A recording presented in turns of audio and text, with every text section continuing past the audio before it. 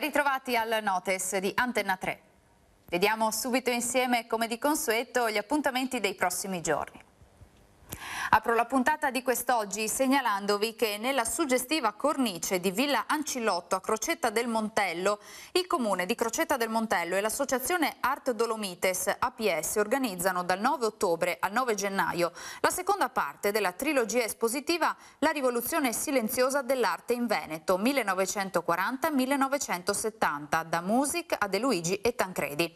Oltre 80 opere di artisti veneti come Vedova, Guidi, San Tommaso, Pizzinato, gli spazialisti e il gruppo N saranno visitabili al pubblico nelle giornate di giovedì e venerdì dalle 14.30 alle 19 e sabato, domenica e i festivi dalle 9 alle 12 e dalle 14.30 alle 19. Informazioni e prenotazioni sul sito www.artdolomites.it oppure scrivendo a prenotazioni chiocciola artdolomites.it.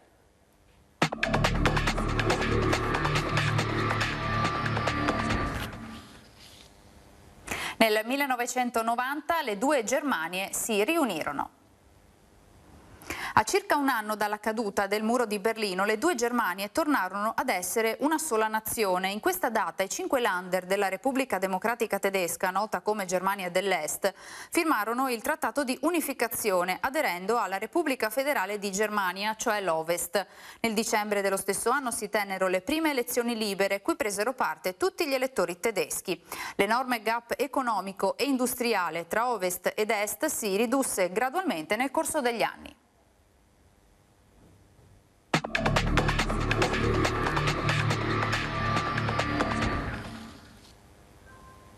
L'uomo che sposta le montagne comincia portando via i sassi più piccoli.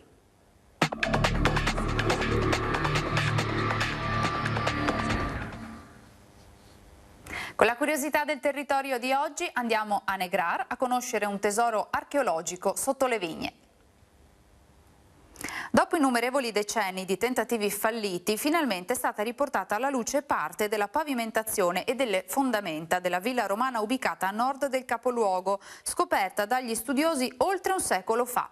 I tecnici della soprintendenza di Verona, con un carottaggio mirato del suolo, stanno parzialmente scoprendo i resti del manufatto ancora presenti sotto alcuni metri di terra, con un obiettivo preciso, identificare l'esatta estensione e l'esatta collocazione dell'antica costruzione.